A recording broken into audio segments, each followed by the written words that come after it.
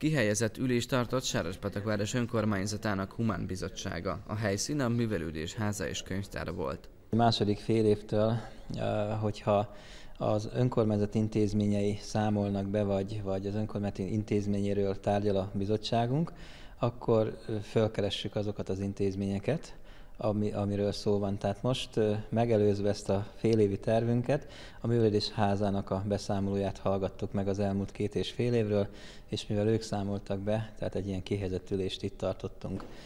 A bizottság tartalmas és részletes beszámolót hallott a városi intézmény vezetőségétől. Mi a bizottság elégedett vagyunk a művelődés ház és könyvtára munkájával, különösen úgy, hogy ez évtől még a víziszínpad és a sarokbás épület is hozzájuk tartozik az ő kezelésükbe és fenntartásukba. Nagyon színes programjaik vannak, hisz ha ki tudnám emelni, évi 1444 rendezvényük van, ami azt mondom, hogy nem semmi. A Humán Bizottság tagjai arról is egyeztettek, hogy a közelmúltban elhunyt Serespatak város Prourbe díjasa, a város díszpolgáráról, Urbán Györgyről milyen módon emlékezhetnének meg.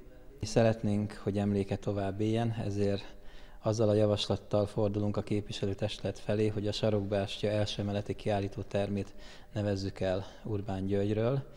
Ebbe egyhangúan döntöttünk, hogy javaslatot teszünk a testület felé.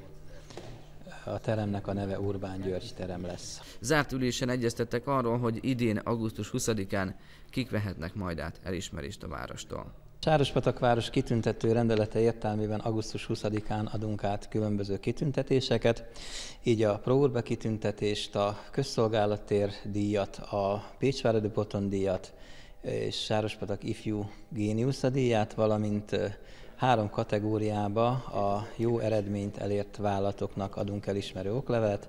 Ezekről döntöttünk zárt ülésen.